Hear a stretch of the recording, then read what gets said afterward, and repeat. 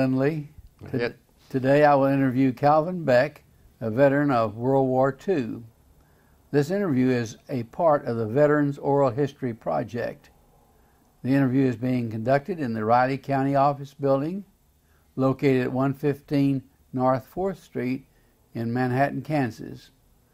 The camera operator for the recording is Dana Doddridge. Today's date is 7 October 2003.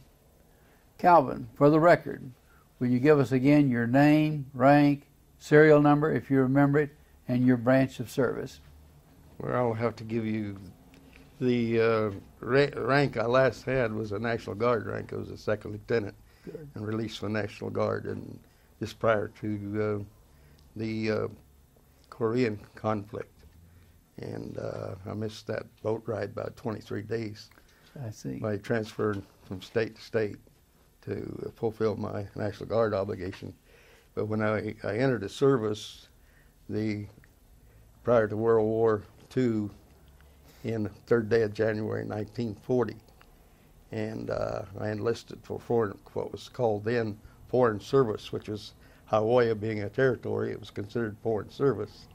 So that was my first uh, entry, and where I served about the longest period of time any one time was in until after December 7th and 41.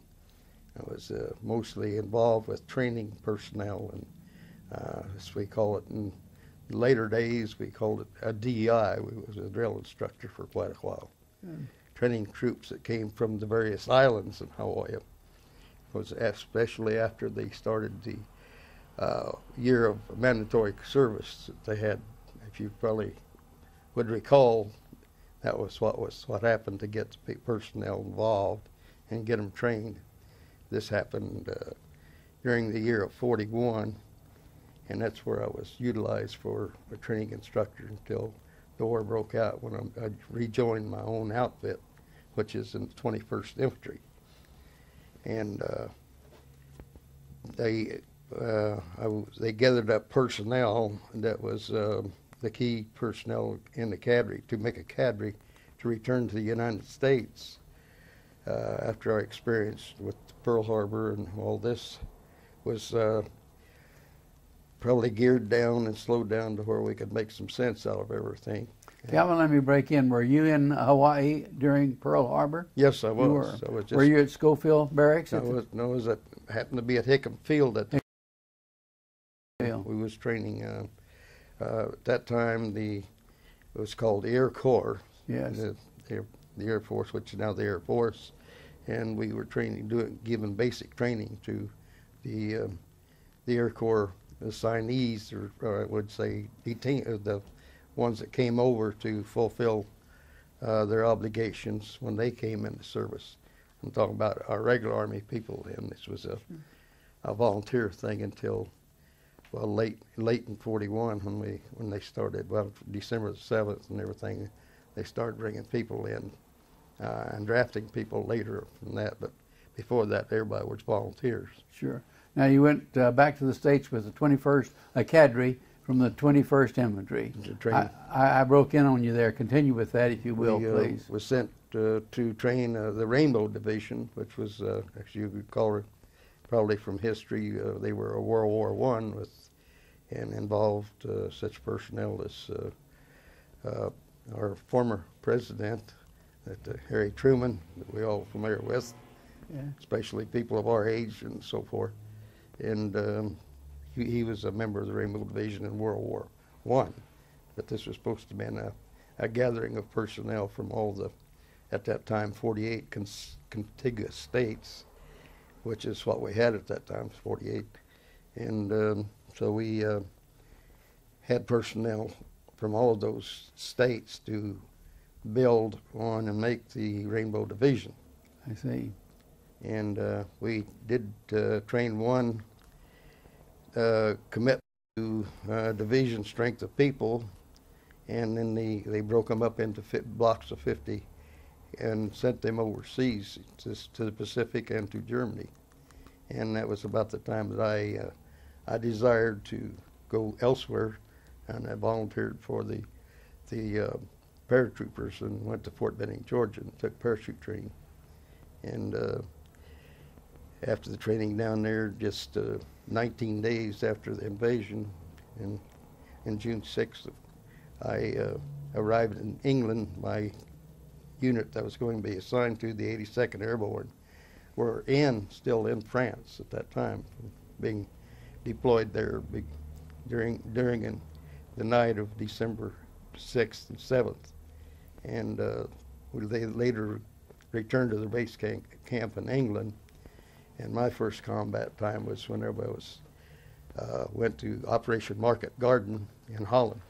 We jumped there on September 17th, and uh, in 44, and uh, deployed and crossed the river in Nijmegen by in Nijmegen.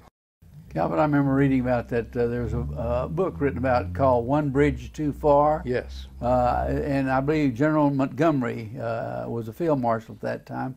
I think he planned that uh, operation, did he not? that, that's true. Tell me something about that operation as you remember it. That was the, the operation. Uh, our our operation Market Garden is is uh, related somewhat, quite a lot, to the uh, bridge too far she alluded to, and we, um, like I say, we we um, concluded our operation. We always assigned a certain thing to uh, bring into fruition, and whenever you're assigned in various units to take over certain territories and, and certain places and consolidate forces and things like this. And uh, we we're, we're waiting patiently for, we were supposed to have been joined on the ground. We, as you can imagine, we, we were deployed and jumped with, from aircraft, and we had to have some uh, support from field, from uh, people in the field, from on-ground troops that has equipment and heavy artillery and so forth to, to uh, contain and to make our operation a success. We needed armor and artillery to, to support us, which we didn't have because paratroopers don't have that kind of equipment when you jump out of an airplane. But uh, we uh, waited patiently for the English forces. There was a quarter at that time from Belgium up there, and then because of lack of support or a whole lot of things, people can blame anybody and everybody for their uh, misfortunes in war and meeting responsibilities and schedules and so forth. But we had to wait. Instead of the three days that we told that we would be joined by land army, it was about nine days. So we it slowed down our operation quite a lot because Cal- Calvin, I've always had a great admiration for General Ridgway. Was he the commander of the 82nd at that time? no, the, his uh, our commander was General Jim Gavin. Gavin, okay. You probably heard the term jumping jumping Jim Gavin. I have a great admiration for this man too. Uh, was the division run very well at that time, as far as you're concerned? I realize you're waiting for the the armies from the south to meet you, and there's about six days late getting there, of course. that this is true, and uh, this uh, was frustrating for division staff as well as company and battalion staffs Yeah. down to lower echelons, and, and uh, we just had to hold up our to, to conclude our portion of the operation. We had to wait until we had sufficient support to uh, uh, reinforce us and to keep us in position once we arrived there See, because we was having problems, particularly at night. We'd uh, take over some terrain, and particularly an example was the little town of Beek, Holland, and that's where I first had eyeball eyeball contact with uh, Jumping Jim Gavin, this, I see. that little town, and we had been in there about three times, and the Germans would come in there at night under the cover of darkness with their armor, which we didn't have yet, Yeah. and uh, so we would relink, have to relinquish ground after a good firefight, and then we'd go back the next day and, and do it all over again. This happened three different times, and, and I recall Jim saying, "Well, Sergeant," he said, uh, "Are we going to stay this time?" And I said, "I have every intent of doing that, sir." I remember the last, the only word I ever said to General Gavin. But he's a wonderful commander. Everybody admired him, and he was well respected and a good commander. After this operation was over, where did the 82nd go then? We uh, deployed uh, back into uh, into uh, France to a base camp, and uh, we stayed there. Uh, this was this would put us about uh, Thanksgiving time, just past Thanksgiving time, before Christmas, and uh, 40, 40, 44, and uh, we were alerted just overnight without knowing anything about anything going on. We kept abreast of the news as best we could in combat, in being in a, a base camp like that away from our combat situation. We didn't have too much going on for us except trying to stay busy and keep people from getting in trouble and because he was in combat and it's kind of a tough situation for a no combat man to to reconcile himself to anything as calm and serene as being in the rear echelon.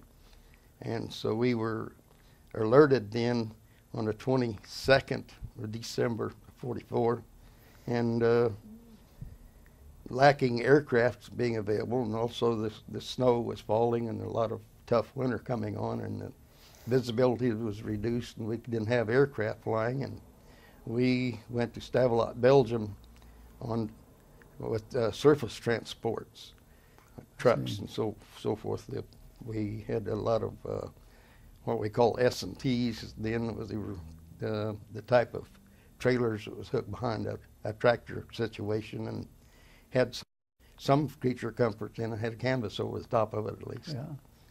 And It's that- about the time of the Battle of the Bulge, this isn't it, is right. Calvin? That's exactly right. We was deploying there to take over a position. It was overrun by von Rundstedt's army uh, for the uh, what we used to be called the Golden Second Line Division. They were ran, they ran right through them. That was one of the big thrusts of the battle when V- Rundstedt came through, and so we had to go in and fill that void in the line. And uh, of course, the the Bulge was a notoriously famous uh, battle situation because they did cause quite a, a time a tussle for the, the Allied forces, British and American, because Rundstedt had made this last thrust, and it was sort of a, a last attempt to get a sufficient land army for the Germans to make this thrust and trying to go into um, into Liège and, and uh, different places in Belgium and France before we just came through and had already consolidated a lot of ground. But we had to retake this and straighten the line up, and this was our mission to do that in this area where we went. Being our division was one of the of the many personnel that was deployed for that situation. We didn't do that alone. you should understand that. Yeah, We had a lot of help. sure. And uh, you got through, uh, the war was over uh, the next uh, summer or next spring, yes, of course. spring and summer. Mm. What did you do after that, Calvin? Well, we deployed down to the southern part of France uh, shortly after the Bulge, after we finished that mission up there, and uh, being in the 82nd Division was uh, assigned to the Fifth Army, uh, Third Army, which was Patton's unit, and uh, we was uh, kept for his reserve.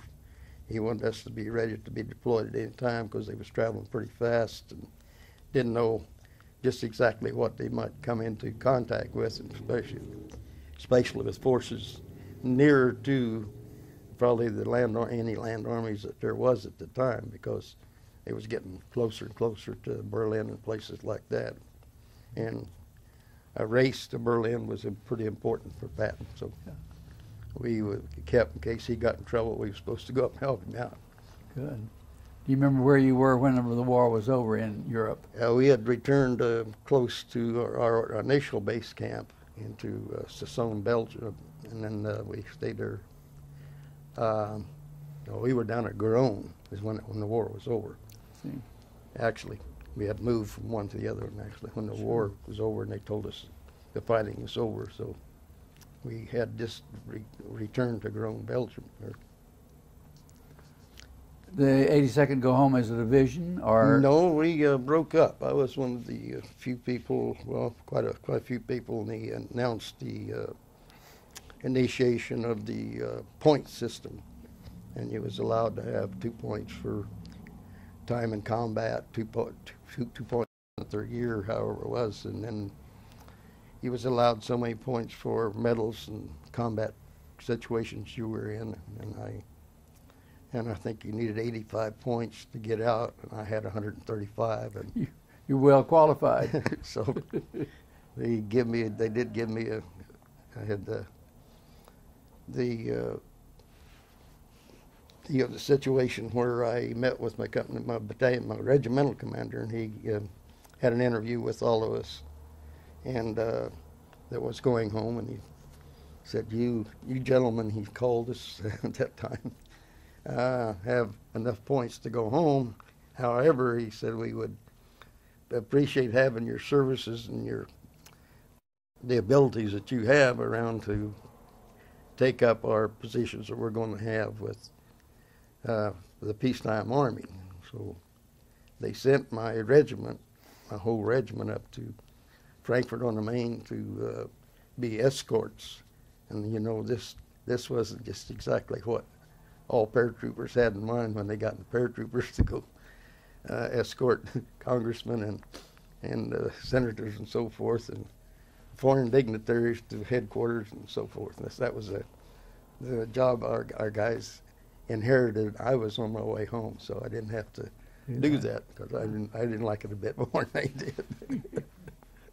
Uh, did did you uh, exit the army then at that time? yeah, we went home. Uh, I got home um, actually in the states and was, uh, was released from active duty on 28th of August of 45, and uh, at Camp Chaffee, Arkansas, and there there I returned to my home station was I was living then at Oklahoma at that time. So I'm an Okie too, uh, Calvin. Where Yeah. do you live in Oklahoma, may I ask? well, I lived in uh, Seminole County for quite a while. Went to junior high school, high school in that area. I and, uh, see. Okay. then landed, uh, wound up in Okmulgee, Oklahoma, where I enlisted for service at. Okay, so you stayed in the service then after No, no, I, you I enlisted there originally. I did rejoin the National Guard. I'd been in the National Guard previous okay. to that, and then okay. I my uh, took the tests again and got my commission all straightened out and and uh, joined rejoined the National Guard in uh, 47. Sure. Calvin, how do you feel about your training uh, in, in the military? Do you feel that uh, the paratroop training was sufficient, that uh, uh, you went overseas well trained? It's uh, probably the best training that I ever had, and of course I'm a little prejudiced about my training earlier on, and when I was still in high school, I told a little white lie about my age and joined the National Guard when I was just 16 years old. I had to get a release from the National Guard to join the regular Army. Sure. So they gave me a release of National Guard on January the 2nd. I'd rejoined the regular Army on January the 3rd of 40. So then I rejoined the National Guard, and, and I, I think some of the best training I had was right there. But the 82nd Airborne and the airborne training certainly was uh, rigorous uh, and more extensive and expansive than we had just on Monday nights in the National Guard. when did you get out of the National Guard? I did that. Uh, that happened just before they called, uh, alerted the, the troops to go to Korea. About 23 days I had sent my uh, uh, resignation into the Oklahoma National Guard so I could rejoin a, a Kansas Guard, which never happened. I just, just didn't go back in. I visited some companies and battalions and and interviewed. I just never did rejoin the, the Guard. Guard. Uh, after the war, there were a lot of provisions made for the veterans, like the GI Bill. Did you uh, use any of uh, this type of thing? Yeah, I did uh, to some extent. I I got uh, pilot's training and became a, a, a pilot, but uh, and I intended to be a commercial pilot, but uh, life's uh, re- uh, responsibilities change. Your person's Sure. wants and likes and dislikes a lot, as you know. Sure do. and uh, I stayed with the company that I was working for, the Phillips Petroleum Company, and, and I stayed with them 17 years. And later, I went to work at Fort Riley for about 17 years. So, Were you with Phillips in Bartlesville, or where were you located? and you know, I initially was in Okmulgee, Oklahoma. you were. They closed that refinery and built a large refinery in Kansas City, and I went to Kansas City. I see. And Calvin, you're to be congratulated for your service to the nation, and uh, you certainly had a very successful service. Is there anything uh, that you'd like to tell us about the service, or uh, have we left anything out at this point? Well, I just like to say that uh, I appreciate you gentlemen asking me to respond to these uh, things that we've just gone through. But uh, and I, and I do uh, want to say that I was fortunate enough to be in a training command for a long enough time that I was well qualified when I went into combat to do what I was trained to do. So that's one of the reasons why I guess I'm still here talking to you gentlemen. Calvin, I'm real glad to hear you say that because we want to be able to, sh- we want all of our people to be well trained before they're forced to do this type of thing. 82nd. I guess you Um, know the 82nd course is still operational. It's over Yes, there mhm. overseas right today. Um, we have two uh, airborne divisions, the 82nd and 101st, and uh, they're operational today. And uh, as I say, I'm quite uh, uh, I, I admire what went on on, on in the in the uh, paratroop uh, effort. Is there anything else we should take up before we wind this up?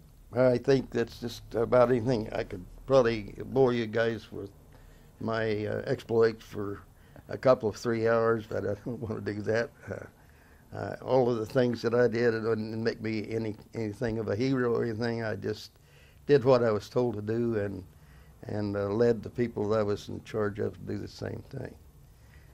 Thank you again, Calvin. You're welcome.